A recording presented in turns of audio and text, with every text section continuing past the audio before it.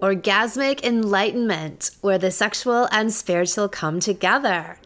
I'm Kim Anami, and I'm a holistic sex and relationship coach and a vaginal weightlifter. In this show, we explore all things intimate. I believe that our sexual energy is life force, creative energy, and we can use it to shape our worlds, strengthen our relationships, and self actualize. I blend the most avant garde information from neuroscience, ancient sexual practices like Tantra and Taoism, to renegade wellness modalities to show you how to create gourmet sex in your lives. Come one, come all. Confessions of a Supercock MD. Supercocks come in all shapes and sizes from all walks of life and parts of the world and professions. Yes, the mighty supercock can appear anywhere, even in a man who presumed he could never be more than an average cock. But alas, he just didn't know what he didn't know was possible. I have huge respect when people come into my work with an open mind, and especially if they have come from a sector of the world where they are trained to think that their way is the only way and everyone else must be burned at the stake as heretics. The sector of which I speak is allopathic medicine. In the typical Western medical approach, when it comes to addressing sexual ailments and pretty much all ailments, there are only really two options drugs and surgery. That's it. Have weak erections? Here, take some Viagra. Have a weak libido? Here, take some hormones. Have difficult periods? Here, let's cut out your uterus, and while we're at it, your ovaries, and then you can take hormones for the rest of your life. That is like the triple crown for OBGYNs a two for one organ removal surgery and drugs. My methods are all about getting to the root cause of why someone is experiencing any given symptom and then permanently cure it. Yes, you can. There are many ways to build a libido, achieve squirting orgasms, and learn to orgasm without ejaculation. I just prefer the natural ones that have long lasting results. I'm not into snake oil band aids. In today's episode, our all stars are Paula and Dr. Ryan McWhorter. They live in Alabama and they have been together for 17 years. He is an integrative physician and now, one of his specialties is treating reproductive issues from a more holistic perspective. They have taken my salons, and he has achieved supercock status, meaning he can have sex for hours and feel like he can run a marathon afterwards. He has learned how to orgasm without ejaculating. His cock has grown in, and I quote, size, length, width, girth, unquote, according to his wife, and it won't ever go down, which is another direct quote. Ryan is 52. He is a supercock MD. He's a supercock, supercock, he's super cocky. He has also been applying all of these principles in looking at the patients in his practice, having that extra, deeper knowledge of the true source of so much strife and dis-ease, i.e., stuck sexual energy. He's been able to help people resolve long-standing issues that traditional means could not get to, because sexuality is the place they never think to look. It is the missing piece. Let's talk to Ryan and Paula about his journey to super cockdom. Well fucked all stars. Welcome, Paula and Ryan. It's great to have you here. It's great to be here. We're glad to be here. So we wanted to talk to you because I would call you an MD supercock, which is a combination of a supercock who happens to also have come and be have a foot in the allopathic profession as a doctor, and some of the stuff that you've put together that's been a personal and professional journey for you. So tell us how you got started and started to key into sex as being the missing piece in your patients and your practice health, and then in your relationship, what that journey has done for you. Sure. you know, I've, I've always loved sex and never really thought of it as a healing uh, modality, you might say. Um, it, it just took some time. I wasn't always happy with pills. Uh, led to kind of more supplement use and just trying to figure out what makes the body heal itself because then it does the best job. It has an innate intelligence, and uh, just trying to figure that out. Um, along the way, I ran into some tough patients and uh, uh did a uh, particular procedure on a patient, and it, it got her, her sex life back, and it was quite amazing. I saw a transformation in her own health, and, and we know from research that her immune system actually started improving. Uh, the immune system being how you get rid of toxins and how you get rid of, of uh, well, any low grade chronic infections or what have you. But uh, you know, I, I, can't put my finger on exactly why she got tons better, but it was a miraculous change. Her and her husband bonded and and it just it was like she took off. I mean two years of kind of being stuck and then now she was fantastic. So i just started looking at that and then trying to find ways to help women heal from from their pelvic health issues their toughest ones. You know some of these women are really really tough. I mean they've endured and endured whether it's pelvic pain or what have you. And um, they needed a way to unwind and so I kind of got into just studying sex as a, you know, just putting it out there. I've studied supplements, I've studied Chinese medicine, energy medicine, you know, I've studied anything that make me just a better all around doctor because, you know, it's not just like I say about a pill, it's just what makes the person get better. So when I um, uh, started studying sexual health, I ran into different names, but then ultimately ran into to your name and, and I really resonated with how you thought and how you looked at ancient cultures. And, you know, I, I believe that, you know, older people have a lot to tell us, and ancient cultures have a ton to tell us. And uh, sex is in our area, you know, we're in the Bible Belt, and, and you know, I don't know where the rumors got started, but we love sex around here. And uh, wanted to, we wanted to be better at it. So, you know, it was kind of funny when we first signed up. We've done several of your courses, and when we first signed up, it was a bit of a risk for us. We were like, you know, is this really for us, kind of thing. But man, they're life changing for us. And then how to help those people, you know. So now i basically feel empowered to talk about sex with patients. You know, we'll talk about other types of orgasms or if they've had never ever had one. You know, I never would talk about these things. You know, I think it's reported that 14% of women will talk about any sexual health issues with their physician in a lifetime. So 86% of the time, nothing their whole life, even with their OB or, you know, like me, their family practice doctor. So, anyhow, it just made me comfortable with that. Anorgasmia, people have never had an orgasm, that's 10% of women, one of our favorite things to, to help with. So, getting me comfortable talking about it, and it even helped Paula and I talk about it. So, Paula and my wife here, we, you know, I always thought we had a great sex life. I think she'll tell you it was it was good too, but we just didn't know there was uh, more levels. You know, like right, video yeah. games, you unlock new rooms, you unlock new rooms, and it just gets better and better. So we just had no idea. We just were having fun, and uh, next thing you know, we're we're it, you un, you unleashed a whole new uh, world on us, and we're ever grateful. Which is why we want to do this. We're not really uh, ones to go out and talk and brag or whatever, but we really feel like missionaries in this deal to let let people know it's safe to talk about sex, it's safe to talk about self pleasure, and you know that, gosh, it, we were designed to have infinite pleasure, and you've shown us a way like really, I don't know if anybody could have shown us like like you have. So we're happy to be here and happy to tell more of of, of our story. I love all of this and thank you. And I love especially the way you describe where you are and how you've um, become missionaries. I love that, missionaries. And it's wonderful because I've noticed that you will comment either of you both of you on my instagram and just reinforce when people are like oh you know what about this and you'll you'll pipe up to be like listen let me tell you so i yeah, love it right. actually i hate those women that won't get off the fence i just want to I just want to write and write and write and tell them what I know. So maybe they'll hear this. Amazing. So tell me about how you were talking about, because I talk about people having three hour sex dates. And you tell me the story with that because you have a funny way of telling your journey. So you, you, yeah. So we heard the first time we'd ever heard the word a three-hour sex date. We've had some fun fooling around and taking our time, and that was always important to us.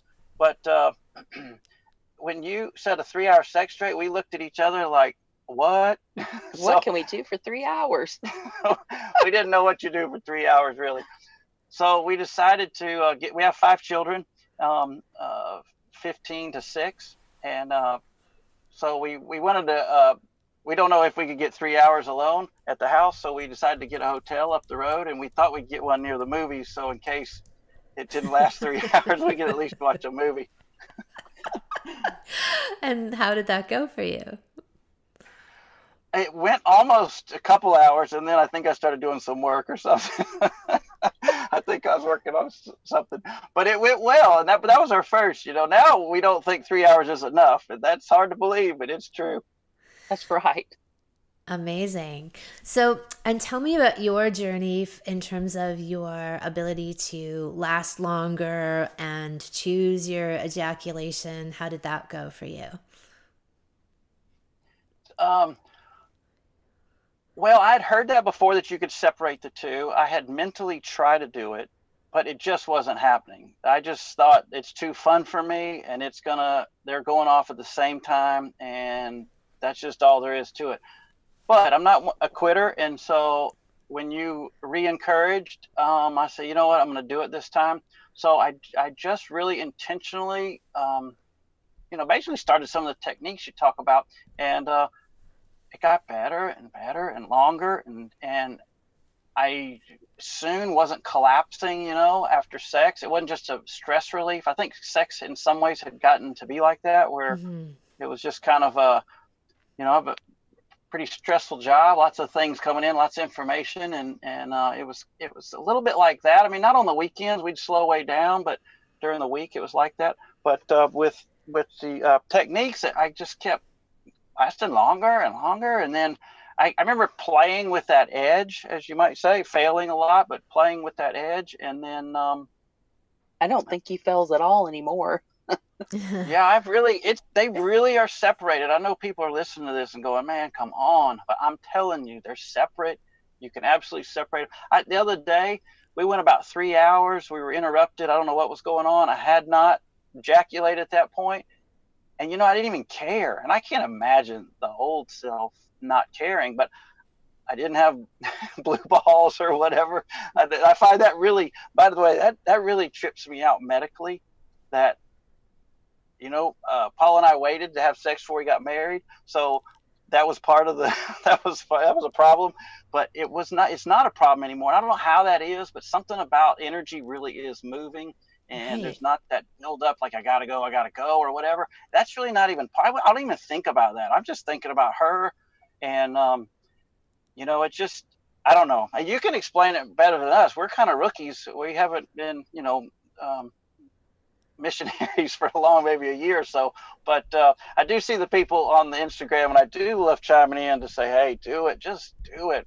You're going to blow money on a whole lot of other stupid stuff, but you're not going to blow anything near. I mean, this is the most fun you can have on earth. Correct me if I'm wrong, but That's it's right. not surfing, is it? I mean, surfing's fun. Our daughter did it this past weekend, and it was fun, but they're know, both amazing like surfing and transcendent sex. But I mean, look, it just takes focus and discipline to put your effort and attention on these things, and they happen, right? Like, there's a reason why I teach them, and people have repeated success because they work if they actually put the their attention onto it. But I think you mentioned a key thing is like a lot of times, especially for men, when we talk about expanded sessions, you know, having much longer sex sessions, breathing, and then separating orgasm from ejaculation, it's usually a concept that they mentally can't wrap their heads around, right? Like, orgasm is so amazing, coming is so amazing how could why would i want to change anything right? And you're like no you are experiencing one tenth of what's really possible.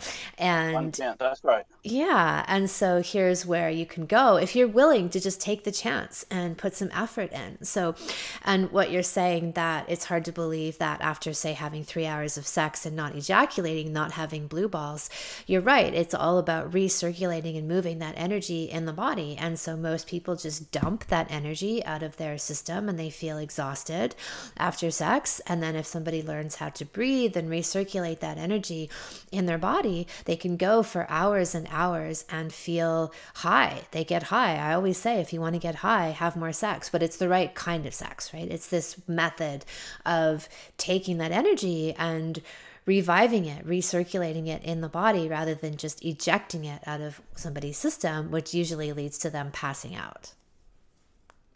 That's, that's one thing that I've really enjoyed is we've always had a great relationship. We've always had good sex, but after sex, he would always go to sleep because, you know, he was exhausted. And now, I mean, after three hours, he's still awake. you know, he does, he's not tired. I'm tired the next day. he work. has so much energy. Yeah, that's amazing. And I think that's a really common thing for women is that the man will usually, you know, you're talking about we're talking about hours now, but the typical, you know, 75% of men ejaculate within three minutes, right? So we are talking about the majority of men who just pump, dump, and slump, right? And then they pass oh, out and the woman, what's that? Like a sneeze. It's like a sneeze. Yeah, it's yeah. like a sneeze. It's over. And then the woman hasn't even gotten to like level one, you know, of arousal, and her man's already gone. And yeah, a woman's going to feel abandoned and eventually frustrated, and then start talking about all the other things that she needs to do that take the place of having sex, like watching television or cleaning the house, or, oh, I have a low libido. You know, low libido is just translation for I'm not interested in having sex with you when you come in three minutes right that's like the typical right. the typical guys for low libido so I love hearing your journey into having much, much longer marathon sex dates. And how do you so, what's another thing that you would say that you I guess a relationship between what you see in your your patients and bringing the sexual piece into their lives. Are there any other stories you could tell us about how bringing because I know that as a practitioner or say a doctor is that it's I'm sure it's an area that you're not really taught about in this way that it's an important piece of health, right? I mean, a lot of the allopathic system isn't really getting to root cause issues, it's treating people with often band aids that are pharmaceuticals or surgical procedures that aren't really getting to the root cause. And I would say that sex is a huge root cause for. many, many, many, many people that is never even has that association made with it. Even with people who work as sex therapists, let's say, you know, they wouldn't make even the connection between somebody's sex life and their their work life or their home life or their the life of their children, you know, or their financial life, like or their health, right? Say they have reproductive issues and they wouldn't see any connection between like having problems in their sex life and somebody who's got difficult periods or cysts growing or premature ejaculation. They wouldn't see any of that relationship where I see all of that relationship. I say that it's all connected. So, how has having more of that framework for you helped you with your patients? You know, there's no question it's it's huge. So, um, you know, and I'm proud of my education. I feel like they just taught us a lot in four years, and then in residency. But you know, even on a pelvic exam, they're they you know the fact that the muscles can be so tight, and and a woman can just be you know just have so much trouble, unable to conceive or con- unable to even consummate their marriage. So those are the kind of things we see uh, uh, frequently. So to me, what I learned about sex was just like a small little thing. But when I came out and now I'm just learning, so I've had to go. So, so you know, I call this the Anami training, and and we um, uh, always talk about you. But um, the uh, I've had to go to the physical therapy world, like the pelvic guru and those type groups, to learn more about really how to document an exam. But Paula and I had two years of infertility, and uh, we were trying hard. I, I promise you, and um, something just wasn't right. So we started getting really you know practicing what I preached and really looking at inflammatory diets and the quality and the sleep quality and and things like that. And the next thing you know, by the way, we found out in that process she has half a uterus, so um, mm. you know pretty disadvantaged, I would think, from a fertility um, place. But uh, I don't know what happened, but a few things, obviously less inflammation and stuff, but lifestyle things. But when we um, uh, started having kids, we couldn't stop having kids, including, um, but we had five, two on birth control pills, and I mean, wow. they were just literally coming all the time. Um, so um, the um, the uh, we got interrupted there just a second. So um, all the time we're talking about uh, uh, pelvic health. Somebody's pulling up to us. Make, um, but anyhow, so all the time we're talking hey guys, about there's health. a bunch of there's like a real screechy sound, and it got a bit staticky. Keep talking. Okay. Yeah. Yep. Um. So uh, anyhow, probably to step out of the car for a minute. So we um we're always talking about um, how to get the pelvis moving, get the metabolism up, get the blood flow in and out, get the muscles, get get them um, circulating. Each cell of our body, every cell, toenail cells, hair cells, vaginal cells, they have a nerve that says run for your life or freeze. The other nerve says relax, repair, uptake nutrients, digest, make stomach acid. Um, and enjoy you know and so um, and you can stimulate those most significantly with a good sex life so our goal is kind of get the pelvis going i believe i've never read this maybe you can validate this that the best way to get a stressed human to relax is is great slow sex the problem is you got to relax to really enjoy slow sex. And some people are too stressed to have sex. So that, that's the kind of person that'll come see me. I mean, they just have zero sex drive. They're pretty much, you know, wide open and they have no brake. So foot's always on the gas. It's never on the brake. And I think yoga lasts a couple days. Outdoor activity lasts a day. Um, we encourage all those and then um, or something that just gets you still. So drinking coffee on your porch, or you drinking your hot tea or whatever on the porch. I know you don't do coffee, so you've got you've got to do something that tells your body it's okay to stop and apply the brake a little bit, so those cells can heal, so they can take up the B12 and the B9 and all that stuff, and they start working better, and then your brain's clear, your mind's better, your energy's better. In fact, your energy can soar. You can you can circle your neighbors, you know, just in energy. So um, I, I know you talk about this in your in your um, in your uh, salons or whatever whatever you call them. That you know when it's long, that plateau phase we call it. Doctors, you know, crazy about names, but in the plateau phase, that's when you're making your nitric oxide and your oxytocin, and um, and really producing those hormones of attraction and bonding, but also energizing. And your nitric oxide is tied to your um, to your immune system. And I think that's what I was telling you about that girl who got better, young lady. She got better because her immune system got better because she started having great sex. And so after that, it was pretty much off to the races of, well, how good can it get? And that's where you step in and tell us, my gosh, you're just, you can go up and up and up, and you can have this whole body multi orgasmic male. And it really sounded like you were speaking another language, but uh, I'm sure glad you did. I'm sure glad we kind of quote, you know, uh, bought in or, or signed up. Like I said, it, it was a little bit of a uh, we, we were we hesitated at first. So I love what you said about the slow sex. Like, so we, you mean the plateau, meaning because I talk about building and plateauing, building and plateauing, instead of this really steep incline and then a steep decline that most people associate with their sexual experience. I talk about more of this expanded tantric style, um, you know, spreading out of that energy where you're not just having this mad race to the finish line, but you're meandering along the way. And as you do that, we're practicing certain techniques to recirculate that energy. And then the end result is that we feel revitalized after sex. And you're saying that even on this neurotransmitter hormonal level, we're doing, you see that happening, is that there's this chance to build these chemist, this chemistry in the body that's beneficial for us, correct? That is correct. I've told uh, I got this guy. He always comes in. He comes in for IVs. He'll drink and he'll have these terrible hangovers. And, and it might have been your one of your salons where you say that if you have great sex, your hangovers will go away. And he actually does. he tried that and it worked. So uh, I just I just find that awesome. So it, it his body's able to detox better because he's able to get out of that. Oh my gosh, I almost killed myself last night mode. So the body stayed in fight or flight. By the way, that's that's what's up with a lot of pelvic health issues that pelvis is stuck.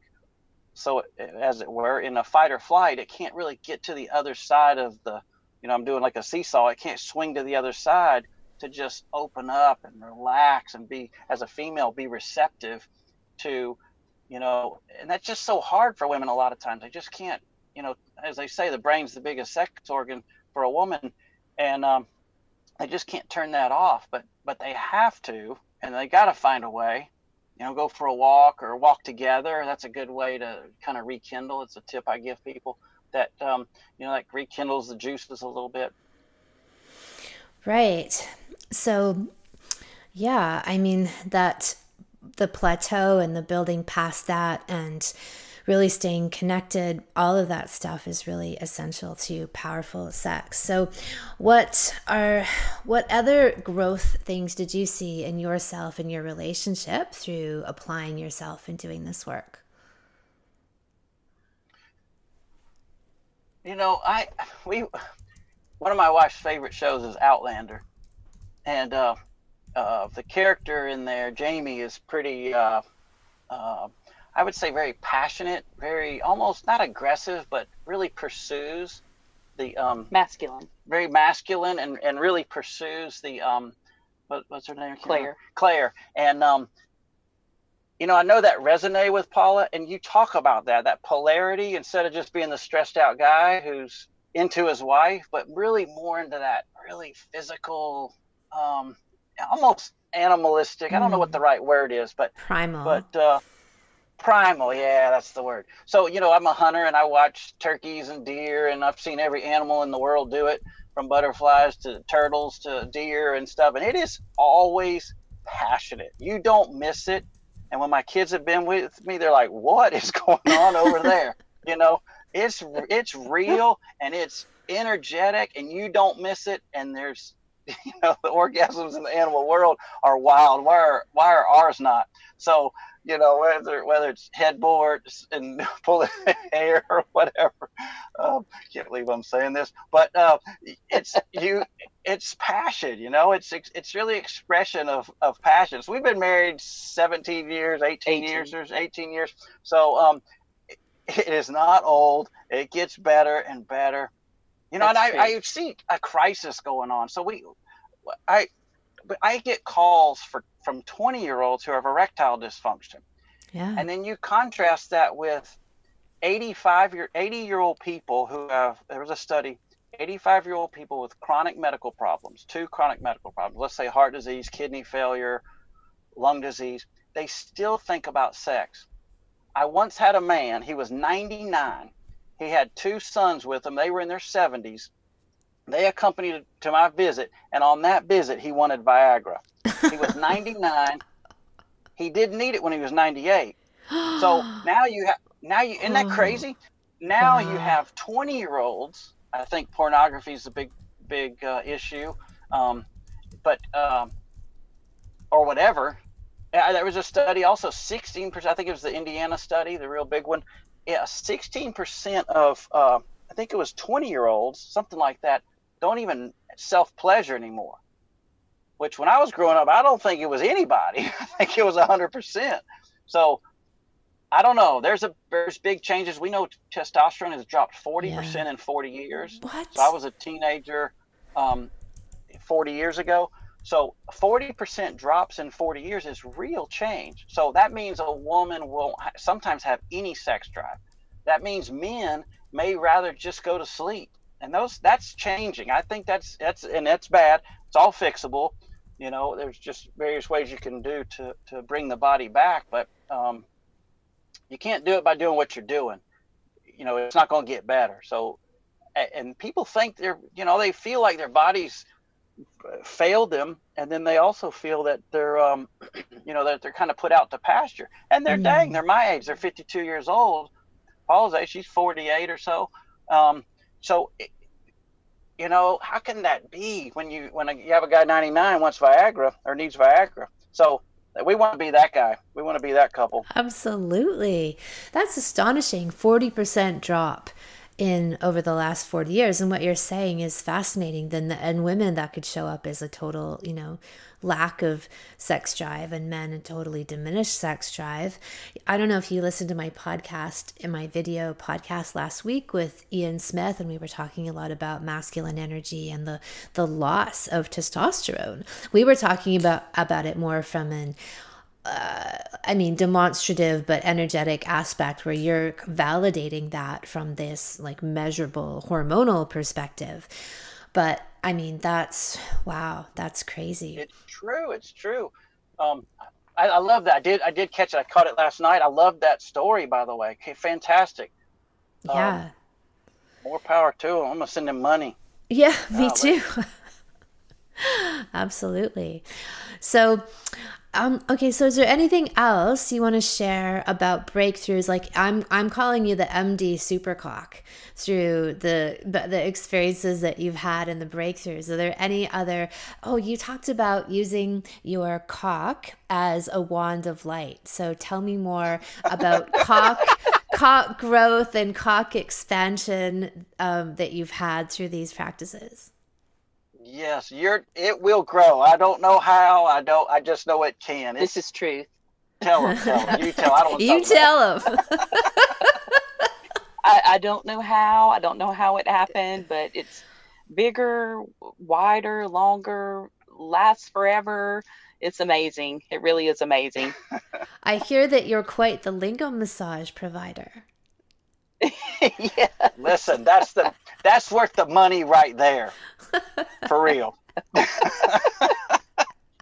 that was worth the price right there, just the lingam massage. But it's amazing how much levels that there of there are of pleasure. I mean, I really believe those are gifts to us, and they need to be explored. I don't know how we got so bad at sex. I mean, I'm not saying everybody's bad, but I felt like we were pretty good compared to maybe friends or what have you. Pretty active, and you know, I thought it was good, and it was good, and it was consistent but it was not fantastic. And now mm-hmm. it's fantastic. Now it's sizzling. And you know, we're old people. We're 52, and you know, some people are quitting now. They, you know, some people will come see me and they'll say, "I'm. It's too late for me, isn't it?" And they're like 40. Or, oh man, come on, dude. So well, no, we people... believe in.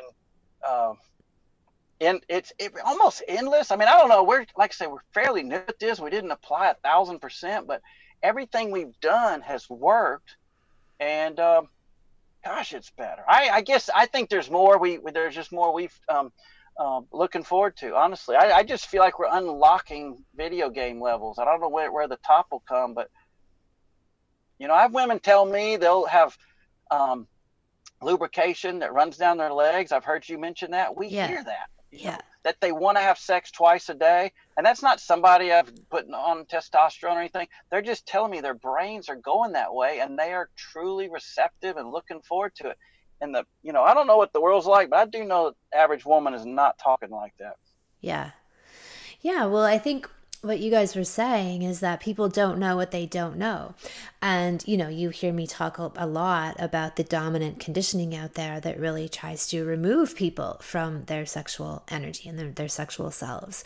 And so once people start lifting the veil on that and applying themselves to study what's a, what's a possible, then yeah, the sky's the limit. There's so much there for them to learn and grow with. And the way that you describe your journey, you know, and that you even that you've achieved all that you have, that you still feel like there's so much more to go, and that's the spirit, right? Where I think for most people, like you said, it's an it's a kind of a closed book by the time they hit middle age, whatever that is, 40s or 50s, and they feel a lack of libido, which is you know however whatever combination of things have contributed to that. And they just buy into this narrative that they're done and yet they can be going to the age of 99 and still be raring to go. Yeah when he said that the two i looked over at the two sons because they had apparently he couldn't drive. But he could fuck yeah. So he needed them to go to the pharmacy, and it wasn't for them. They were my patients too, so they could ask right. for it. They looked when I when he said that they looked at each other, and their eyes got just huge, and they looked at each other like, "What?" wow. Amazing. You know, sex. That's how I just was reminded something. um, I got my started in uh, alternative medicine when um, I lost a father figure. In fact, he was 52. He died of a heart attack, and I really, long story short, it was about inflammation. It wasn't about passing a test or necessarily cholesterol or what have you, but it was about inflammation. So, inflammation, um, people who have sex twice a week have 50% less heart attacks that is a huge number. So you're changing yeah. how, whether the blood clots or not. But guess what? Those cells have nerve endings that say repair and be and be smooth rolling or be sticky and clumpy. And you turn that on or off whether you're in fight or flight or whether you're in we call it parasympathetic, but that's that relaxed state that like oh you know just that sitting in the rocking chair, um, sitting by the pool with an umbrella drink, on vacation you know the opposite of the kids crying or the you know you burn the food or whatever um, or that bad phone call you didn't want to get all those things put us in that mood but we're learning that our foods our stressors our our wi-fi our cell phones our lack of outdoor exposure connection to the earth incredible what nasa has taught us about what the human body has to go through when it's not connected so outdoor uh, activity is, is a big thing the quality of our sleep and whether it's it's you know, cool and dark, those are affecting our cell biology as well. So, I mean, I can go on and on. I just love talking about it, but I know that people can do better. The people that are stuck, don't be hopeless. I mean, gosh, we see 70 and 80 year olds rekindle something when they haven't had sex in 20 years. Men wow. too. It's it's more difficult for men at that stage. So don't wait forever. It's not getting any better. But but uh, you know, 80 year old sex, it's happening. They're out there. Well, wonderful. Is there anything else that you'd like to add?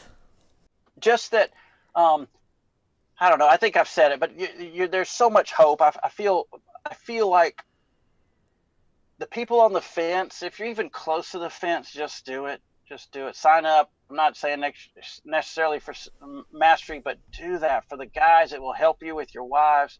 Um, our relationship has grown despite reaching all the levels of the Orgasmopedia. Our, our relationship has grown and uh, we're much more communicative. I mean, we just talk about things that, that weren't really a, um, you know, it, for some reason we just didn't. And even though our relationship was good, we didn't talk about those things. So that's really why we're trying to kind of spread the word and, and like we said earlier, be missionaries to um, to the whole process that it can get better and better. Fantastic. Thank you so much. You're you're very welcome. It's our our pleasure. Another supercock unleashed unto the world. If you want to harness your own supercock self, then check out my Sexual Mastery for Men salon. This is my eight week signature how to live, love, and fuck in a male body, and it's open for registration now.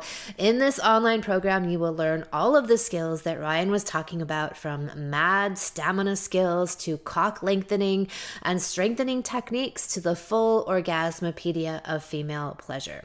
You can sign up at my website, kimanami.com. Look for Sexual Savant Salons and then Sexual Mastery for Men. Are you coming? Thank you so much for listening. If you haven't already, subscribe and also leave a review. And send someone else the gift of a healthy libido and an off the charts love life by sharing this episode with them. We'll be back next week, and in the meantime, many happy orgasms.